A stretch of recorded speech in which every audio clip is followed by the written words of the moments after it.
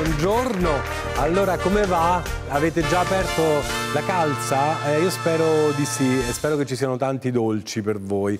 Oggi forse la bilancia a due stelle con questa luna dissonante può sentire il sapore dolce con un retrogusto amaro, può darsi? Ma questo dipende molto dal tipo di relazioni che state vivendo perché sappiamo che eh, a livello astrologico è stato soprattutto il mese di dicembre ad aver portato qualche piccolo dubbio. Quindi eh, mi riferisco ai nati bilancia che magari a Natale o a Capodanno per vari motivi o in quel periodo hanno vissuto delle piccole malinconie. Voi siete il segno della pazienza, della tolleranza e della diplomazia e quindi riuscite anche a fare buon viso a cattivo gioco se vi va.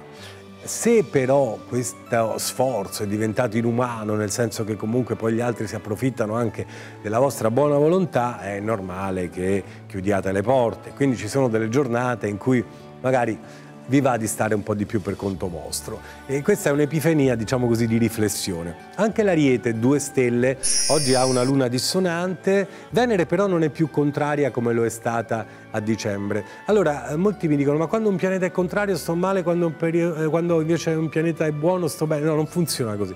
Quando abbiamo un cielo di provocazioni e anche un po' conflittuale a livello astrologico, noi sentiamo la necessità di mettere in chiaro delle cose. Quindi che succede? Molto probabilmente a dicembre tutti gli ariete che avevano qualche dubbio in amore lo hanno espresso. Allora, chi sta con la persona giusta e ha un buon rapporto eh, con chi ama avrà chiarito, ma chi per anni, mesi magari ha dovuto sopportare delle tensioni e non è riuscito a trovare un accordo con il partner è ancora un po' sotto pressione. E questo potrebbe essere come discorso anche allargato ai parenti, agli amici, quindi l'Ariete lo trovo un po' in battaglia in questo momento. Andiamo al Capricorno, tre stelle, una pausa di relax, nulla a che vedere con eh, positività, negatività, noi siamo sempre positivi, per me la negatività non esiste, esiste semplicemente l'atteggiamento che noi vogliamo avere nella vita. Siccome il Capricorno è un propositivo, è uno che non si arrende mai, è chiaro che alla fine vince e vincerete da marzo e vincerete da maggio con queste grandi stelle, però la giornata di relax ci vuole per tutti, in particolare se avete un'attività di responsabilità, se tutti vi tirano per la giacchetta, se comunque in famiglia siete sempre quelli che devono in qualche modo decidere. Il Capricorno, quante volte l'ho detto, preferisce decidere da solo, ma non perché sia un pazzo egocentrico, ma perché sa che se gli altri sbagliano poi deve correre a riparare in prima persona le cose che non vanno. Allora dice faccio tutto io, così almeno mi stanco una volta sola e non due. Andiamo al segno zodiacale dei gemelli.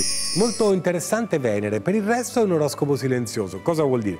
Che questo è un mese, gennaio in generale, e anche questa è una giornata che segue il corso, che rappresenta in qualche modo la vostra capacità di amare, quindi in qualche modo se c'è una persona che vi piace dovreste parlare e se ci sono degli amici con cui volete condividere qualcosa di bello non dovete tirarvi indietro. Ma per quanto riguarda lavoro, decisioni, è tutto in, in eh, diciamo stand by, cioè in pausa. Evidentemente certe risposte, certe questioni non si sbloccano prima di primavera, ma voi state lavorando affinché qualcosa si muova a favore. Andiamo al segno zodiacale del cancro. La luna nel segno raddoppia la vostra passione raddoppia anche la vostra sensibilità.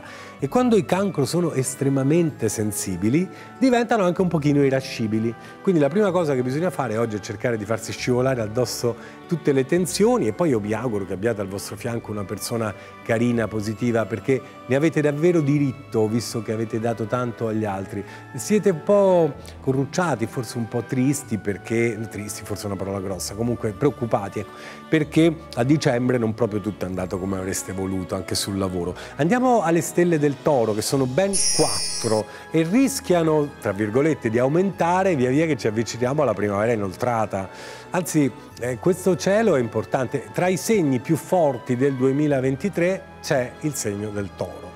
Quindi a questo punto fate il vostro gioco. È chiaro che vincerà il toro più propositivo, vincerà la persona che ha le idee più chiare, no? Però una spinta in più arriva, è come salire sul palcoscenico, si apre il sipario, l'oroscopo ti dice Toro, fammi vedere quello che sai fare. Voi cosa sapete fare?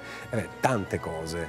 Anna lo dimostra tutti i giorni e voi che siete a casa sicuramente tanto tanto amore arriva grazie a queste stelle. 4 stelle per il segno zodiacale della Vergine.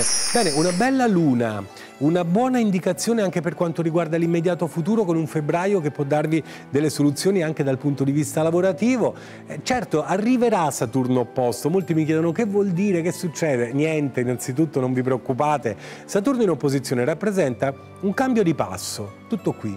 Quindi il fatto che magari certe situazioni che appesantiscono, che magari avete portato anche avanti per anni, non sono più importanti. Noi abbiamo sempre paura dei cambiamenti e forse i nati vergine un po' di più, perché essendo segni di terra vogliono camminare diciamo, su un pavimento solido.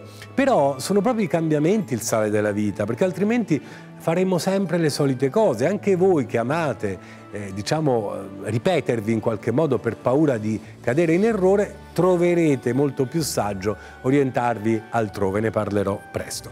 4 stelle per il Sagittario, beh questo cielo si avvia verso un fine settimana importante, è vero l'Epifania ma guardiamo anche le giornate di sabato e domenica, mi piace molto la giornata di domenica per voi e sono convinto che ci sarà anche una bella emozione. Se avete vissuto un momento no a settembre, quello era un, mese un po' pesante per il lavoro, già da dicembre si è mosso qualcosa e con l'aiuto di persone care potrete fare di più. Favoriti anche quelli che lavorano con il partner o che vogliono formare delle società. 4 stelle per il leone.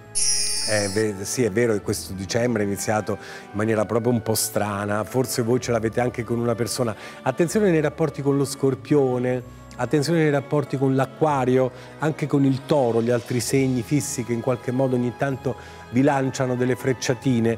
Voi siete molto forti ma in questi giorni rischiate di apparire agli occhi degli altri un po' prepotenti. Questo cielo vi aiuta e domenica baci e carezze. Andiamo al segno dei pesci, 5 stelle.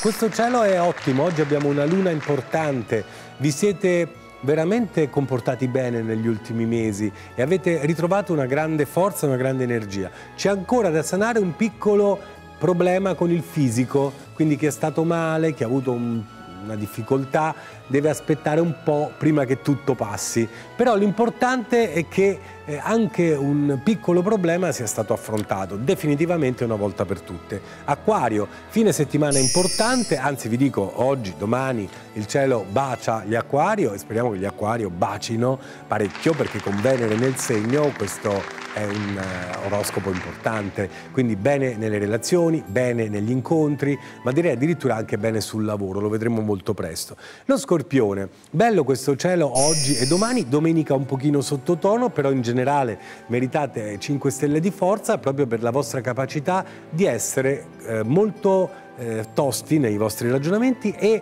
sinceri. Quindi se un qualcosa non va in amore sarà meglio parlare tra oggi e domani. Piovono carezze, mi auguro anche per voi baci, questo fine settimana è molto intenso. Vi abbraccio.